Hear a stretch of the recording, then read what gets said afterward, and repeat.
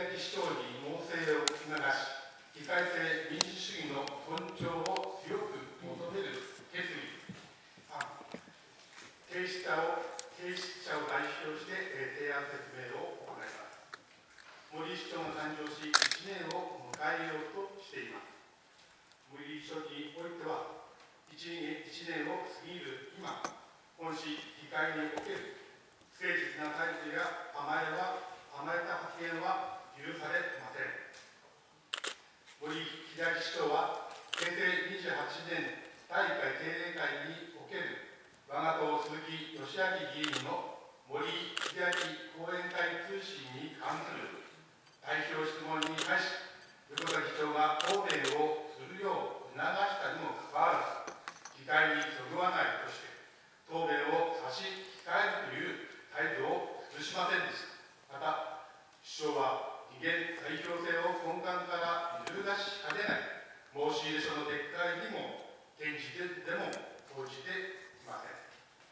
自民公明民主新風小樽の市議会4会派は当初予算を審議する第1回定例会である議会審議に影響が出ないようにとの配慮が事前に質問書を渡そうとしたが市長は受け取らなかったその結果この問題が議会に持ち込まざるを得なくなったものであります本定例会の各会派の代表質問はこの経過を踏まえた上でわれたものであります市長が市民の負託を受けていることと同時に、市議会を構成する議員も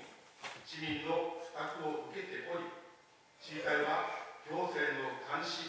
政策の提案を行い、選決することが大きな役割であります。議長が指摘した通り、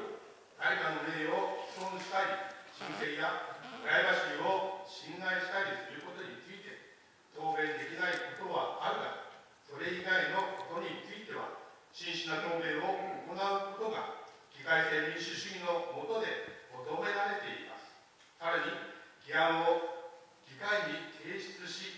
議決を要請しているのは市長であることからして、議会が空転し、議案が廃案になる事態にならないよう、議会とともに議会再開に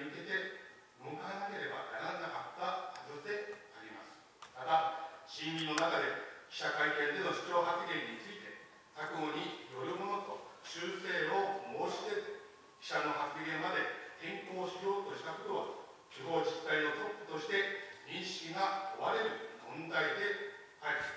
このことは一つ一つの市長の発言に対して議会は優に及ばずひいては市民の信頼を損ねることにつながってまいります。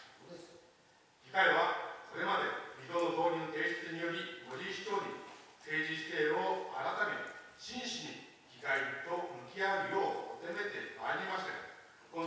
会においても、その意思や意思や態度が改められないことから、再び、ご一省には、猛省を促し、議会制民主主義の尊重を強く求める決議を提出し、各議員の賛同をお願いして、提案説明